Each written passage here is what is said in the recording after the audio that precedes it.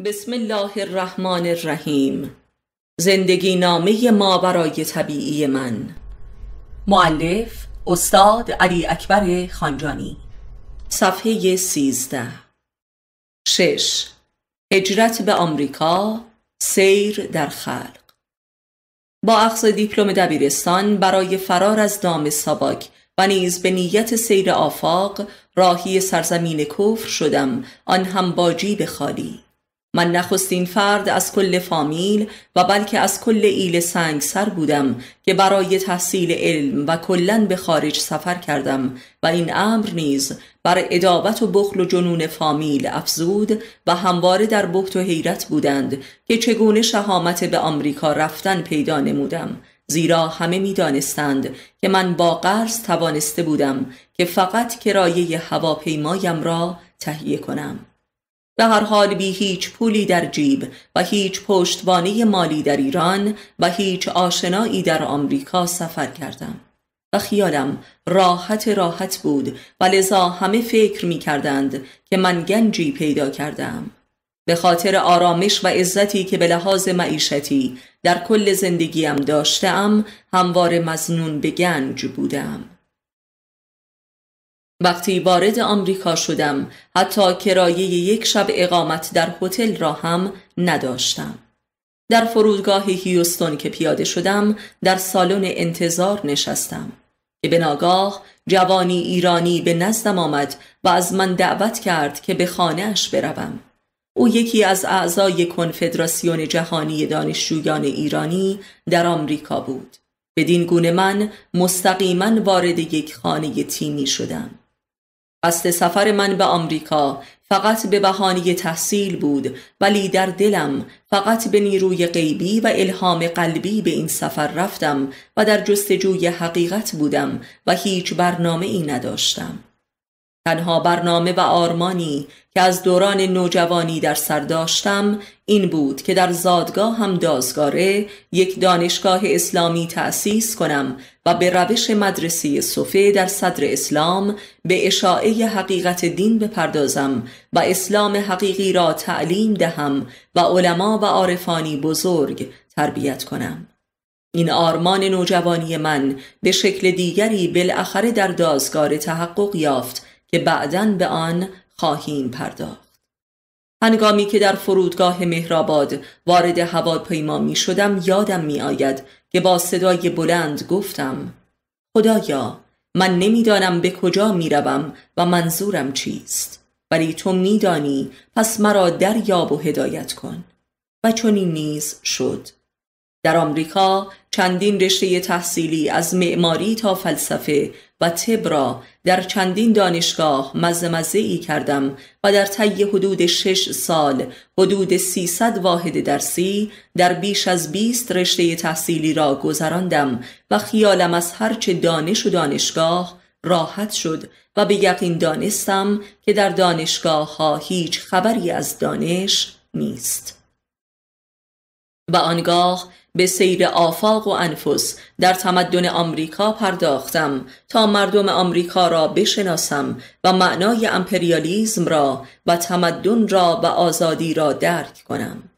در طی این مدت با اکثر سازمان های روشنفکری و انقلابی چپ و راست و مذهبی از نزدیک آشنا شدم و سپس به ناگاه با واقعی از کل دانش و دانشگاه و تمدن و انقلاب و روشنفکری و آزادی و مبارزه استعفا دادم و عزلت گزیدم. و آن واقعی مرگ دکتر شریعتی بود. شب 29 خرداد ماه یعنی شبی که شریعتی در لندن از دنیا رفت من به طرزی جادویی دچار یک طوفان روح گردیدم و احساس قیامت می کردم و تا صبح بال بال زدم تا اینکه فردایش فهمیدم که شب قبل دکتر شریعتی از دنیا رفته بود. از آن شب به بعد به طرزی حیرت آور شریعتی را در وجودم احساس می کردم و صورتم نیز عین شریعتی شده بود که همگان این امر را به من متذکر می شدند و می گفتند که شریعتی در تو حلول کرده است. با این واقعه نوشتن در من آغاز شد و من به مدت 25 سال تا به امروز در عزلت و تنهایی کامل در حال نوشتن هستم. تشابه حیرت آوری که با شریعتی پیدا کرده بودم باعث شد که بیشتر از مردم فاصله بگیرم. چند سال شبان روز در تنهایی می اندیشیدم و می نوشتم و سعی می کردم پا به محافل ایرانیان نگذارم.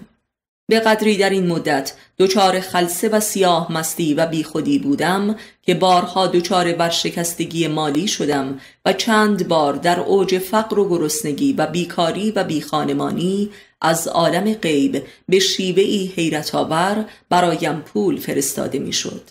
در حالی که هیچ کس در آمریکا و ایران آدرس مرا نمی‌دانست و با کسی رابطه ای هم نداشتم به هر حال خداوند خودش رزق مرا از سمتی که من نمی‌دانستم میفرستاد. و بدین گونه بر یقین و ایمان من به خدا افزوده می‌شد و در راهی که می‌رفتم تردیدی نداشتم. از سال پنجاه و سه تا شست در آمریکا بودم. در این میانه یک بار هم سفری سه ماهه به ایران داشتم که اسفند ماه 1357 حدود یک ماه بعد از سقوط شاه بود.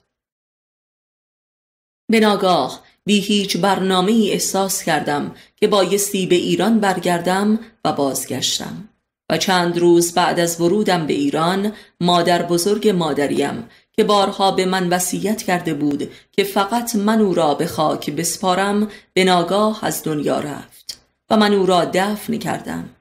تمام حراس او از این بود که پسرش که بهایی بود در این کار دخالت کند و چه بسا او را در قبرستان بهایی ها دفن کند. بدین طریق به یکی از علل بازگشتم به ایران پی بردم که همان کفن و دفن مادر بزرگم بود که زنی حکیم و درویش و قدیسه بود.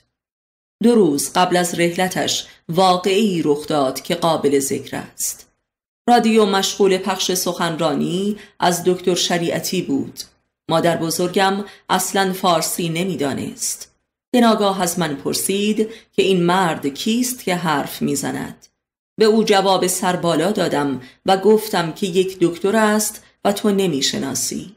به ناگاه به من گفت که صدای او عین حضرت علی است. او هرگز اسم شریعتی را هم نشنیده بود. وقتی عکسی از شریعتی را به او نشان دادم گفت او خود حضرت علی علیه السلام است. من تعجب کردم که او چه می‌گوید و منظورش چیست.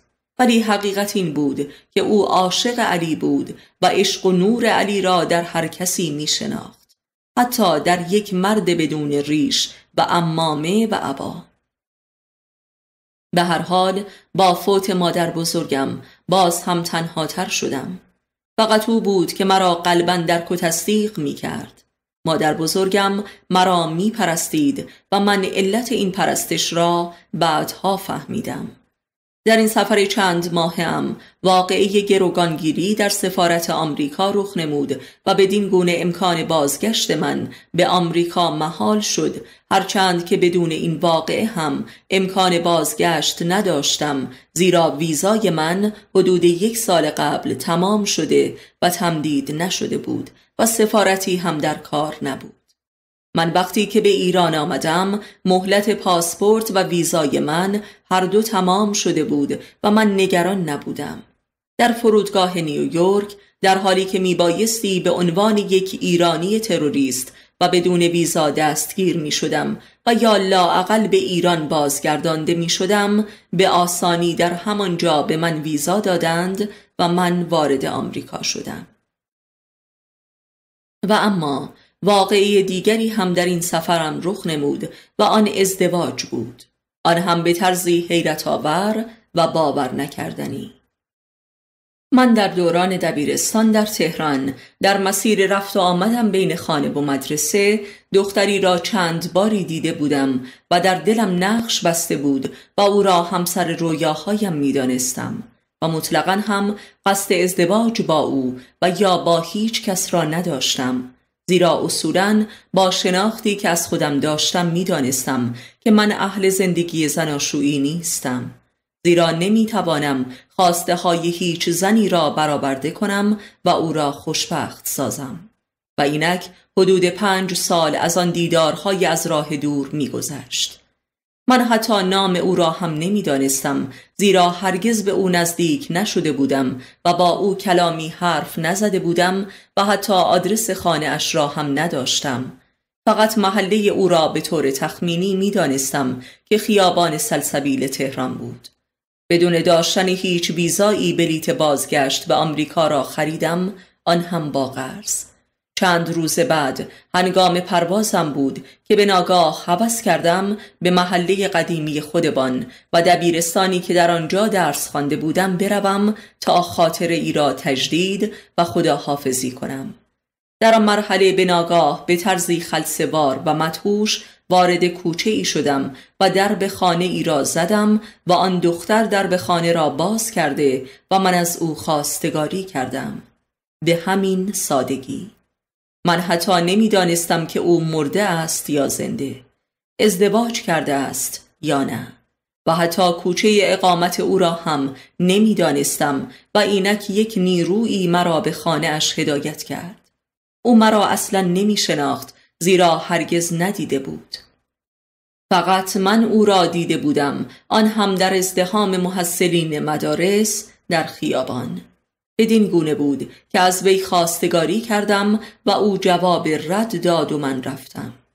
شب قبل از پروازم یک بار دیگر رفتم به همان محله که خدا حافظی کنم که به ناگاه دیدم از مغازه مرد جوانی بیرون آمد و مرا صدا زد. او برادر آن دختر بود که مرا یک بار چند روز قبلش دیده بود. رفتم جلو و سلام کردم. گفت چه خوب شد آمدی. خواهرم پشیمان است که به شما جواب رد داده است. ولی من گفتم که به هر حال کار از کار گذشته است و من فردا پرواز دارم. به هر حال مرا به زور به خانه اش برد. خواهرش آنجا بود. با هم صحبتی کردیم و نامزد شدیم. بی هیچ مراسم و حتی حلقه ای و من فردایش پرواز کردم و به فرودگاه نیویورک رسیدم.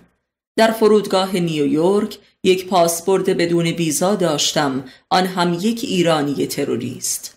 ولی با کمال حیرت و به طوری معجزه آسا همانجا به من ویزا دادند و وارد خاک آمریکا شدم.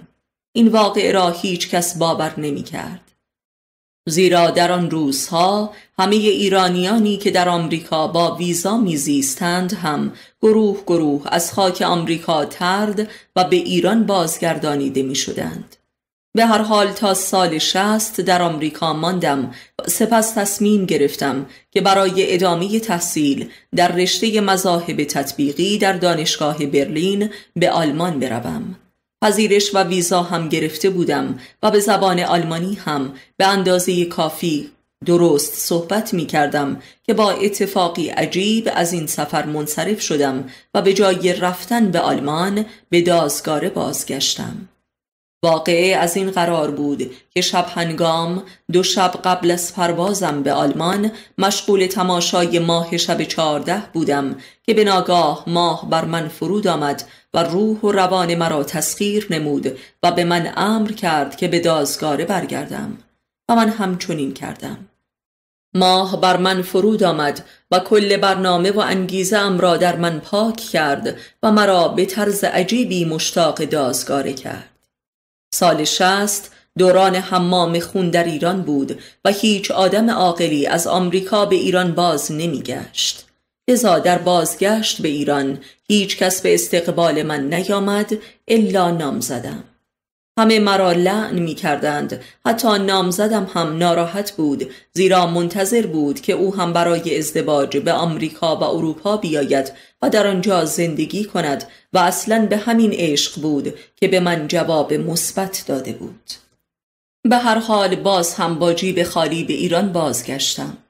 با یک چمدان به آمریکا رفته بودم و با یک ساک برگشتم و همان لباسی را بر تن داشتم که از ایران خارج شده بودم کارم با تمدن تمام شده بود و مردم آمریکا را به عنوان متمدن ترین مردم دنیا بدبخت ترین و احمق ترین مردم دنیا یافته بودم و آنان را بسیار بیشتر از مردم خود مستحق نجات می دانستم.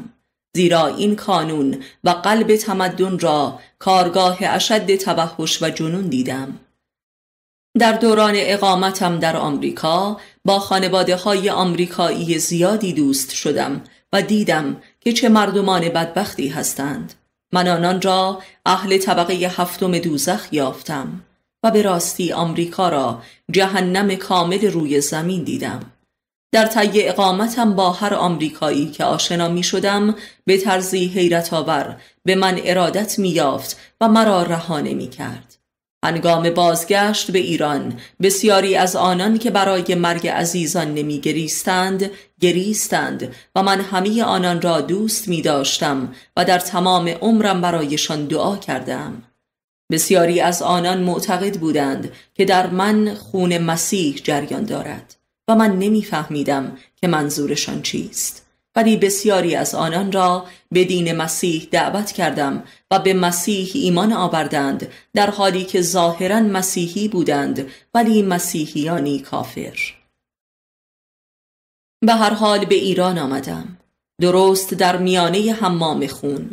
دیدم که انقلاب به جان حامیان و فداییان و فرزندانش افتاده و همه را میبلد من مستقیما از تهران به دازگاره ییلاق آباب و اجدادی خود رفتم.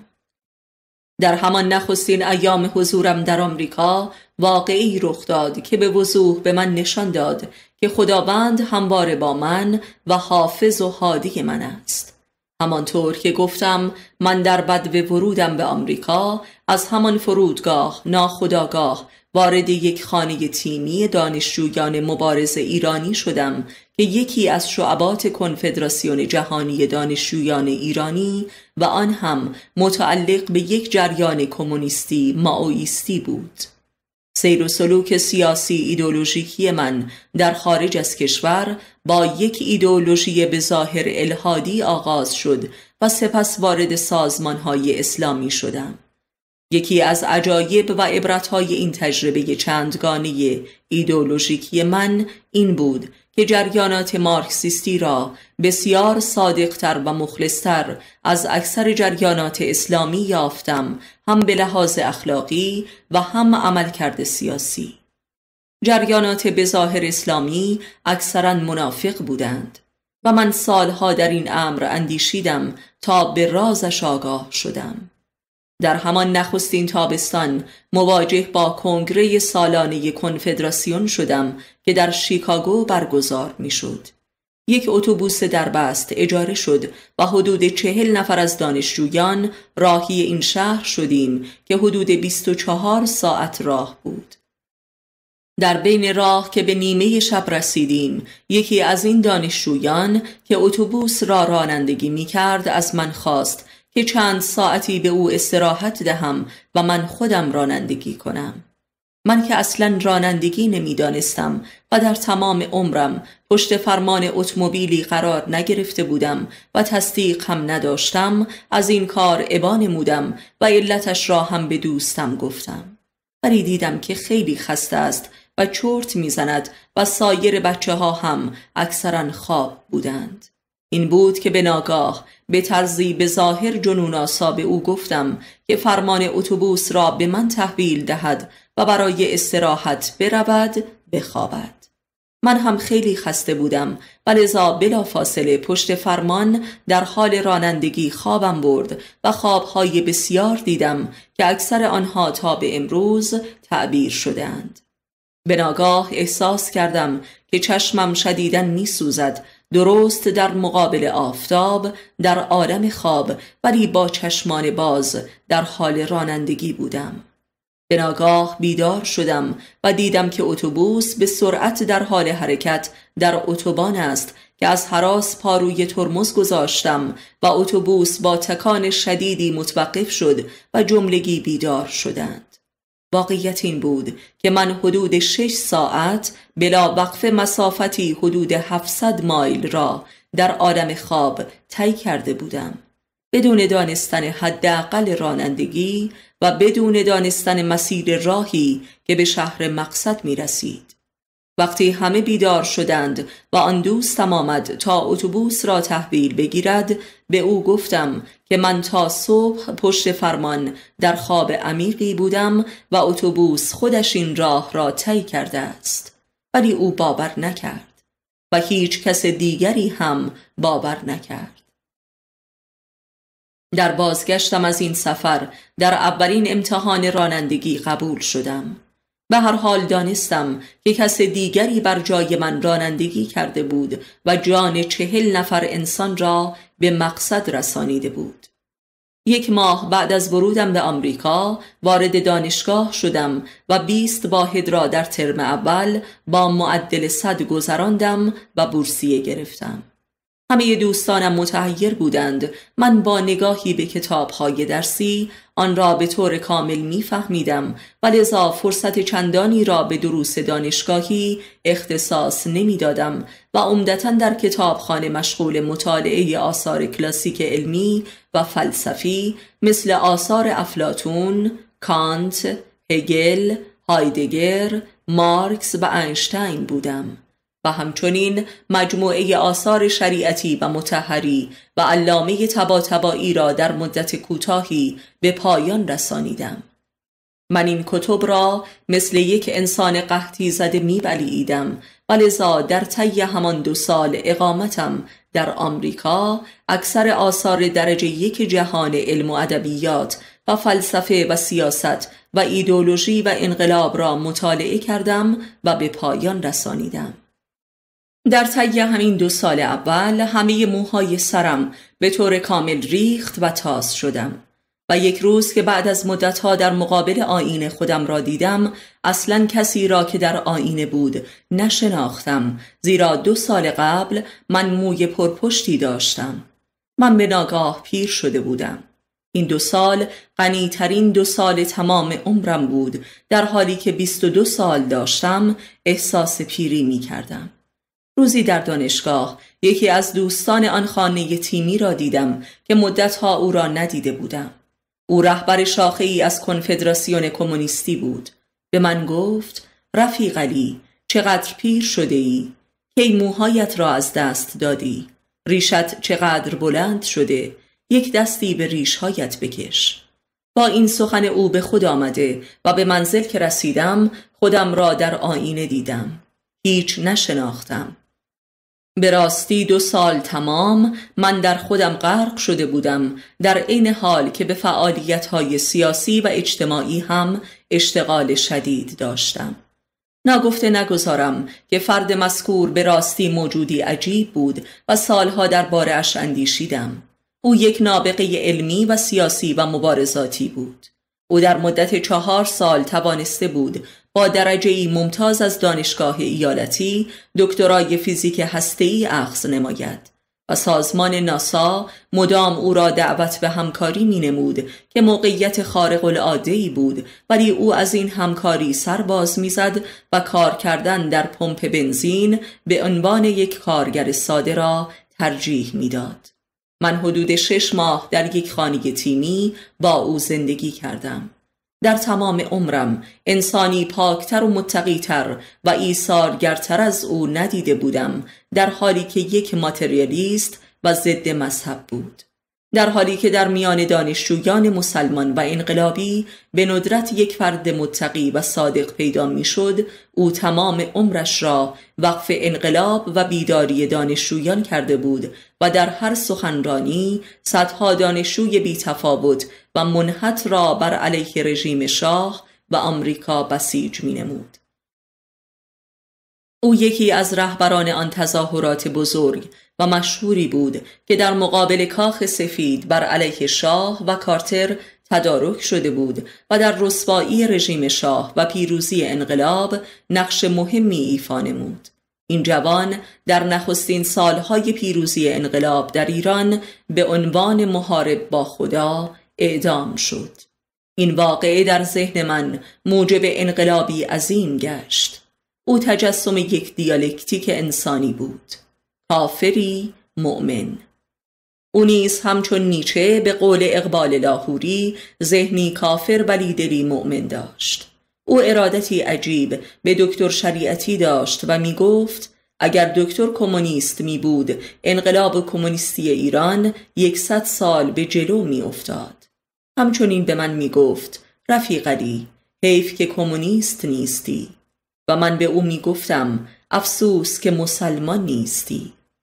این انسان عجیب مرتازانه میزیست و تمام ما یملک او یک ساک ورزشی بود و با اینکه حدود سی سال داشت در آمریکا نه زن می شناخت و نه مشروب و نه رقاص خانه و همه افراد گروه او کما بیش این گونه بودند. روزی در حال اقامه نماز در آن خانه تیمی بودم که یکی از اعضای آن خانه به من خندی زد. ولی این دوست آن فرد را محاکمه تشکیلاتی کرد و از او خواست که از من عذرخواهی کند. اصلا موجودیت من در آن خانه یک حادثه غیر طبیعی و عجیب بود که البته شش ماهی بیش نکشید و این نیز از هدایت های ویژه خداوند در حق من بود. روزی به طور خصوصی از او پرسیدم آیا وجود خداوند را قلبا تصدیق نداری؟ با کمی مکس گفت خدای تو را قبول دارم ولی خدای پدرم را نه. پدر او یک آیت الله مشهور بود. مدتها بعد در قرآن کریم پاسخ دوستم را یافتم که کافران از سنت پدران خود تبعیت می کنند بگذارید نامش را هم بگویم. نامش حسین بود. همانطور که امام حسین علیه السلام نیز خدای اجدادی خود در خانه کعبه را پشت سر نهاد و روی به کربلا نمود و متهم به ارتداد شد و به همین جرم خونش ریخته شد. سفرم به آمریکا به راستی سفر به اعماق دوزخ بود و سیر و سلوک من در طبقات دوزخ محسوب می شود به بیانی دیگر سفر به اعماق و طبقات کفر بود و لذا زیر بنای ایمان من گردید و من این سخن مولانا را عینا تجربه کردم که کافر نشدی حدیث ایمان چه کنی؟ به واسطه انواع مشاقلی که از روی عمد و آگاهی انتخاب می کردم توانستم که با اهالی همه طبقات کفر تن به تن محشور شوم در این کشور این امکان وجود داشت تا پسترین مشاقل را درک و تجربه کنم و توده آمی را بشناسم و احساس نمایم. و همین دلیل این امکان خارق العاده فراهم شد تا از میان اساتید دانشگاه و برخی از سران سیاسی این کشور و ایدئولوگ های امپریالیستی در مراکز پژوهشی تا اماکن پست کارگری و تا در میان فواهش دوستان صمیمی پیدا کنم و تا اعماق جانشان را دریابم. یکی از مهمترین و مفیدترین این مشاقل که حدود چهار ماه به طول کشید دربانی یک مرکز فساد جنسی بود که در آنجا مسئول پارک اتومبیل ها بودم. در این دوره کوتاه من کتاب حجیم و سقیل کاپیتال مارکس را در ساعات بیکاری به طور کامل خواندم و در واقع این کتاب فقط می بایستی با این تجربه کاری توأم می شد تا مفهوم پرولتاریا در شدیدترین شکلش برایم حزم و جذب می شد پرولتاریای جنسی. به نظر من برخلاف تصور مارکس مظلومترین پرولتاریا و آسمان جلها نه طبقه کارگر صنعتی. که زنان و مردانی هستند که جز فروش هیکل خود هیچ منبع درآمدی دیگر ندارند که این یک استثمار جسمی، روانی و عاطفی به تمام و کمال است. استثمار روح و شرافت انسانی. و اما چند ماه بعد بر حسب اتفاق به بهانه یک پروژه تحقیقاتی در دانشگاه وارد مرکز تحقیقات استراتژیک دانشگاه رایس شدم که تحت مالکیت خاندان بوش بود و در آنجا با بزرگترین پروژه جهانخواری آمریکا. یعنی کمیسیون سهجانبه آشنا شدم که بعدا در ایران رساله مفصلی در این باب نوشتم که البته مثل سایر آثارم منتشر نشده است. ولی به اقتباس از این رساله یک سریال تلویزیونی در سال 64 در کشورمان زیر نظر بنده ساخته شد که به واسطه مسائل سیاست خارجی و امنیتی بخش عمده این سریال پخش نشد. نام این سریال روند سلطه بود و از همین کانال به وزارت خارجه در مؤسسه پژوهش‌های بین الملل دعوت به همکاری شدم که این همکاری نیز هنوز آغاز نشده پایان یافت زیرا در این مرکز هیچ صداقتی نیافتم بعدها از منابع این رساله بسیاری به نام خودشان به نان و نام و مناسب بزرگ رسیدند و ما هیچ نگفتیم. با این تجربه حیرت آور من به وضوح دیدم که خداوند چگونه مرا به بهانه ای به قلب مراکز استراتژیک امپریالیزم آمریکا کشانیده بود تا ذات امپریالیزم را بر من آشکار کند. این پروژه تحقیقاتی را از حراس نیمه کار رها کردم و به سرعت به ایران بازگشتم. ولی آنچه را که میباید میفهمیدم فهمیدم و دانستم.